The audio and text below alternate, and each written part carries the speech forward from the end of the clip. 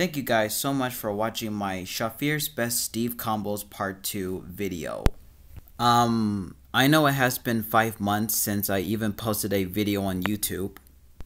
To give me time to practice the more technical Steve combos like Phantom Block Reverse, PBR for short, NIL, and Repeater so I can make better combos in the video.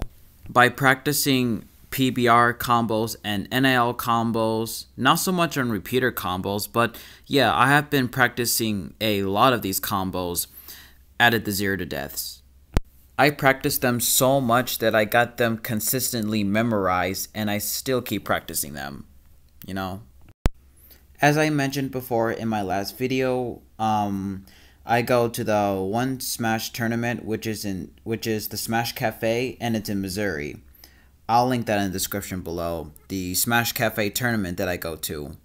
If you actually like the music, then I'll link the music in the description below as well.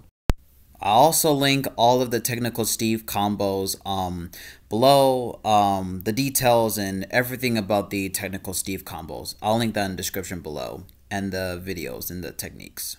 Not only have been practicing so much after the last five months of making my first Steve montage video, I have been, you know, focusing on other things, you know, there's more to life than just video games and making a video.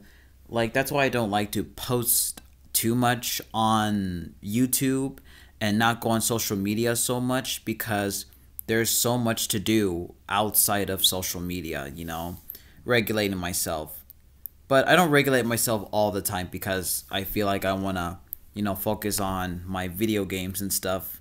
But yeah, I'm still learning how to control it, but it's yeah, it's natural. Yeah, if you enjoy um, this video, then please hit the thumbs up and subscribe. Yeah, thank you. Oh, and one more thing. Please follow my Twitter account if you want to. I'll link that in the description below for you to follow me if you want to. Thank you.